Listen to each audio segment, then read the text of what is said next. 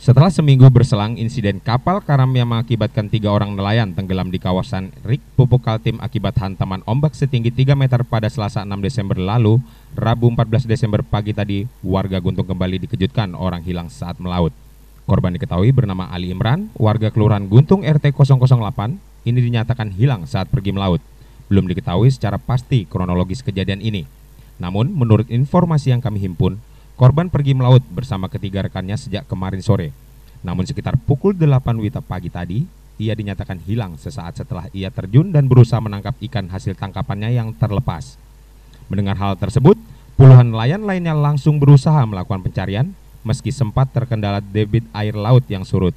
Namun sekitar pukul 14 WITA siang tadi, sebagian nelayan langsung melakukan pencarian.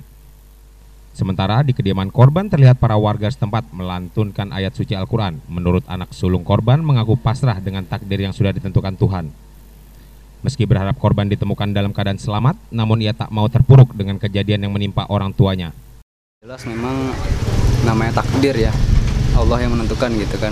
Kita sebagai manusia berusaha sebaik mungkin mencari dan mudah-mudahan uh, ketemu, ya harapan kita ketemukan dalam keadaan baik dulu kalau misalkan ternyata Allah berkehendak lain ya kita harus bersabar seperti itu. Hingga berita ini diterbitkan, tim gabungan masih melakukan pencarian. Demikian, Ekspos Kaltim melaporkan.